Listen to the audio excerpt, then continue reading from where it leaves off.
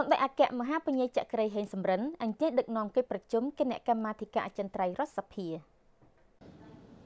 គណៈកម្មាធិការអចិន្ត្រៃយ៍រដ្ឋសភានៅព្រឹកថ្ងៃទី5ខែមីនាឆ្នាំ2019បានបើកកិច្ចប្រជុំក្រមអធិបតីភាពដ៏ខ្ពង់ខ្ពស់សម្ដេចអគ្គមហាពញាចក្រីហេងសំរិនប្រធានរដ្ឋសភានៃព្រះរាជាណាចក្រកម្ពុជាកិច្ចប្រជុំបានពិភាក្សានិងអនុម័តតាមរបៀបវិរៈដោយបានអនុម័តលើសំណើជ្រើសតាំងសមាជិកក្រុមប្រឹក្សាធម្មនុញ្ញថ្មីមួយរូប ចំនួនសមាជិកចាស់គឺឯកឧត្តមមិនសៀនដែលត្រូវបញ្ចប់អាណត្តិគណៈកម្មការអចិន្ត្រៃយ៍រដ្ឋសភាបានសម្រេចប្រគល់ភារកិច្ចជូនអគ្គលេខាធិការរដ្ឋសភាធ្វើលិខិតជូនដំណឹងសព្វផ្សាយជ្រើសរើសអិសរាជជនមានលក្ខណៈសម្បត្តិសមស្របហើយធ្វើរបាយការណ៍ជូនគណៈកម្មាធិការអចិន្ត្រៃយ៍រដ្ឋសភាវិញ